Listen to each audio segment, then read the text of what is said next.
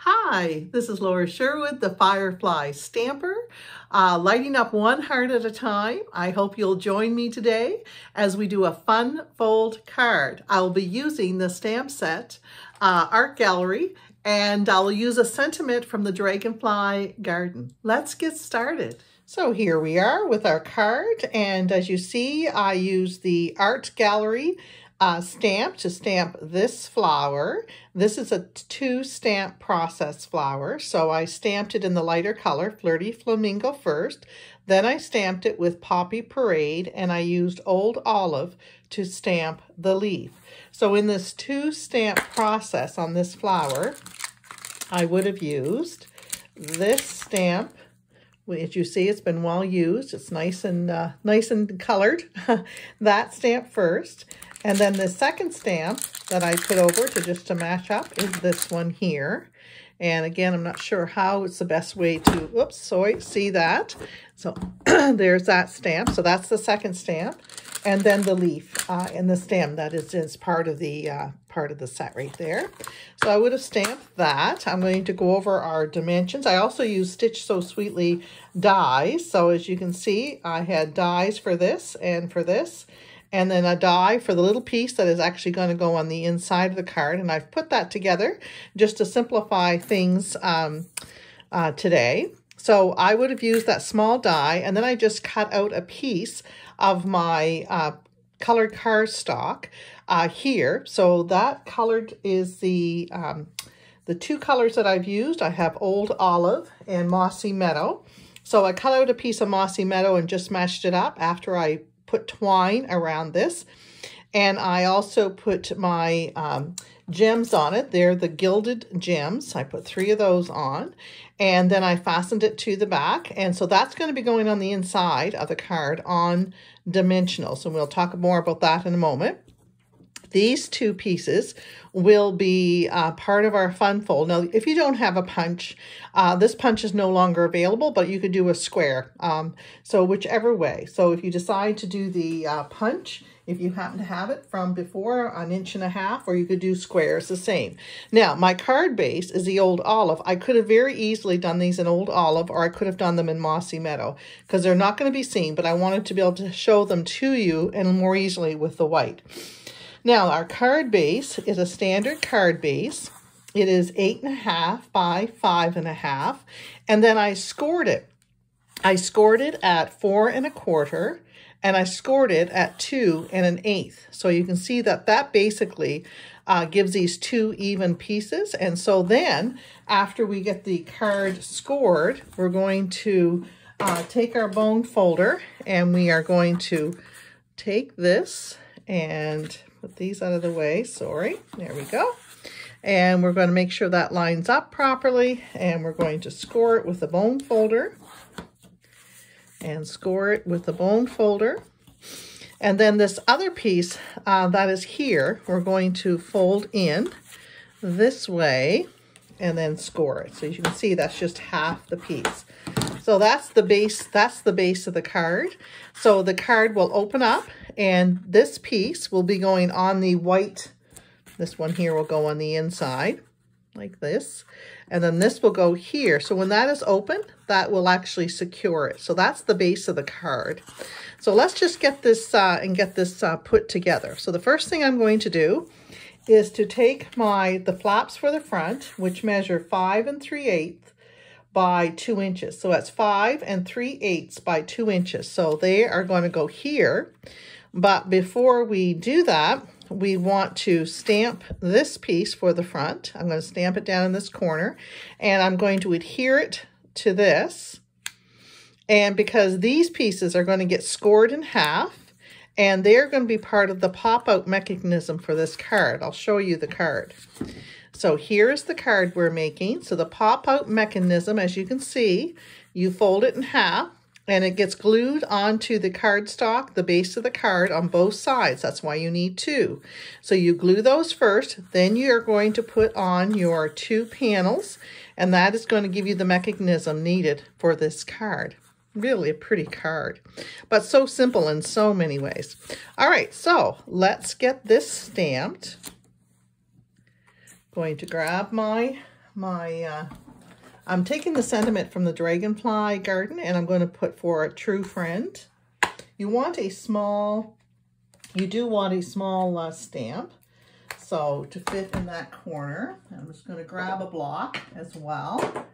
And uh, I think this is my, it's probably my smallest block. And I'm going to stamp that right down in this corner. So I want to pull out, you can use whatever colors that you have. I can use either my uh, Poppy Parade or I could use the Flirty Flamingo. I think I'll use the Flirty Flamingo this time. And so there we go. And of course, this is a rubbered uh, back stamp, so I don't need anything underneath it. Now, I always suggest to people when you're when you're stamping to just stamp on the paper first to make sure your stamp is uh, the label got put on properly and it stamped straight. I think that is stamping straight. So I'm going to line this up on my graph paper because I want to be able to give it get it somewhat straight. So this is going to go down in this corner. And again, you want a small sentiment, whatever you put there for a true friend. Now you could do a thanks on the inside, you could do birthday on the inside, but there is our uh, stamp. And then I'm going to use my Simply Shammy to clean my stamp. And I'm sure you're very familiar with the Simply Shammy. I love these because I keep them moist and I put them in a plastic envelope. And then I pull them out as I need them. And it makes for a very easy uh, cleanup. So I'm going to put this away back into my case. I don't know if you're like me, but if I don't put things away, especially when I'm working with more than one stamp set, um, I find that I uh, lose track of my stamps or they get into the wrong, they get into the wrong uh, set. All right, so the next thing we're going to do is adhere this piece, oh, stamp set, right? Always put your stamp sets, close them. And there we go, that's closed. And I'm going to adhere this one onto my other scalloped edge that's just a little bit bigger. Now you can use glue or you can use your runner tape, whichever, whichever you prefer. And so we're just gonna do this. And then this is going here. There we go. Now, I am going to put this mechanism on using these two little circles. And again, these could just as easily be rectangles and it could be the same color as my card base, but for the purposes of this video, I felt it was better to do it um, white so that you can see what's happening. So I'm just gonna score these down the middle. Uh, just, I mean, you could fold them by hand if you want to, uh, whichever way. I'm just going to give these a little score because it'll be easier to easier to put them on. So I've got my my scoring device uh, off to the side here, which also is what I use for cutting. And uh, basically I'm going to get that done so we can, makes it a little bit easier. So I'm gonna fold these in half. I'm gonna fold this in half. So basically what I wanna do is take this and I'm going to decide where I want that situated. I'm going to put these on the back in the middle. So this is going to go like this and like this. So they're basically going to be stuck this way. And then this side goes down to the paper. So I'm going to do that right now. And uh, I think I will use the tape to do that. So there's one. And so this one, and then this one. So make sure you get them going the right way. So here, so you want glue on this side. Here we go. So I'm going to have my, my little circle that I have here with glue on either side. I'm going to put these on the back. Might be easier for you to do this on the side. And basically you're going to put it in the, in the middle, thereabouts. So there we go, trying to do this with the uh, out getting in the camera. So there's those two pieces on the back, as you can see what I've done there. And then I'm going to open these up like this. And I'm going to put my adhesive on this side for the card. So it'll, that way it'll open up and you'll be able to get that little effect that you're looking for. And, uh, you could use double-sided tape here if you wanted to. I find this is strong enough to use. So there you go. So now you're going to take your, your card that you have here. You're going to make sure the center and actually, it might be better to do that this way. you want to make sure the center is here. So you're going to, hmm, maybe this way. Might be easier for you to see. Okay, so you're going to put this so it's centered in the card, but you also want it lined up and straight. So there we go. So that's about center there. There we go. So we're going to push that down. Then you can take and put this one right there and there's your card. See how that will come out when you're when you're finished? Now the next thing you're going to do is you're going to put your panels on. So again you can either use glue or you can use the Stampin Seal which is ever easier for you to use. Oh my brand new bottle of, uh, of glue. I wonder if I have any left in this one. Let's just give it a shot here.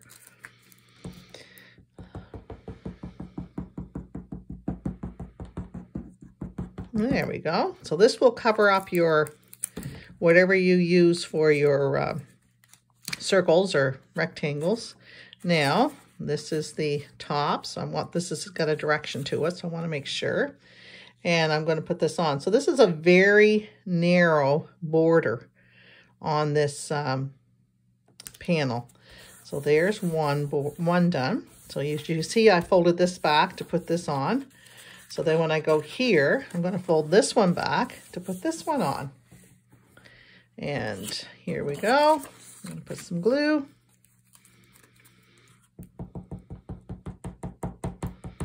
Hmm. There is glue in there. I may have to open up my new bottle, which is why I brought it out. I think I'll open up my new bottle. And uh, bear with me for one moment. And we'll get that old plastic cut off there, slick as that. And pull that off. There we go. So now we'll have some glue. There we go. So nice how it flows when it's uh, a new bottle rather than when you're trying to get it all out of the uh, old bottle. Now again, let's look at this. Make sure we have our front is this way, the top is that way. So make sure we have that on right. And again, sometimes it's easier to do this from the side, but again, you've got that teeny little border all the way around. So there we go. So there's our border. And that's all looked after. So there's our card. There's the base of our card. Look how fast that came together. Now, we are going to, I'm going to come back to the flower for the front. We're actually going to put the piece on the inside. Now, I probably, well, sometimes what I do when I'm uh, doing my cards, I will wait and put the sentiment on later. And um, so whichever, whichever way uh, you want to do it. I think I'll do this one as a thank you. So let's do this a thank you for your kindness. And the reason I like to stamp it prior to actually um, prior to actually putting my card on. So if I make a mess, I can fix it more easily. And I'm going to use the brighter color, the Poppy Parade for the inside. So here we go. Now, again, I my own preference is to ink it up and then stamp it because there have been times when I've actually not had my stamps on straight. And so I can check here or the stickers on straight. That's pretty good. Uh, and uh, I was stamped and then thought, oh no. So thank you for your kindness. I'm just going to put that right there and I'm going to line it up on my graph paper um, somewhat here. I don't know if you use your graph paper like this or not, but I have a hard time sometimes getting things straight. So I like using my graph paper for that reason. And there we go. Let's see if that's straight. And hopefully it's good enough. Oh, that's great. All right, so here we go. I'm going to ink or take the ink off my stamp and make sure it's clean when I put it away and make sure that we close the stamp, the ink pad. There we go. So that's going there. And then this is going back in my case so I don't lose track of what I'm doing. And um, I am going to now put this on the inside. So I think I will use my glue. Oh, and I picked up the bottle that is empty. Let's use the glue here. And we've got, because it is brand new, we have lots and lots of glue. I'm just using the tip to kind of spread it around a little bit. There we go. So here we are. Thank you for your kindness. Uh, you could decorate the inside more as well. Um, I will do this, and I see I got some glue on the side. That's all right. We'll wipe that off. And there we go. Thank you for your kindness. So this piece is uh, that I mentioned for the inside. And again, you can use glue or you can use, I think I'll use glue because it is bumpy on one side. So I'm going to glue this. And you could use double-sided tape if you wanted to, if you felt you needed the extra. And I'm just going to be generous with my glue without being too generous. We don't want it to uh, go over. So you see with this piece, I've taken my little scalloped edge and I've just wound twine around it. Now, if you have something, uh, it has to be something quite thin, so some sort of twine, and then wrapped it around. This is just to give it a nice effect. So this here is basically going to go, so it will be centered up with this front piece when it's open. And uh, so I'm going to put that right there. And there we go. I'm going to hold it down a minute where it's quite thick. Make sure it's well secured. So that is going to be your inside. So look at that. Isn't that pretty? So we are going to finish the front now. I'm going to put this right out this way. And now with the front, we are going to use dimensionals. And the uh, dimensionals I have are right here. And I'm just going to put some on the back of the flower. Now the stem I can't, so I'll stem I may stick a little bit of glue on, we'll see. So here we go with our dimensionals.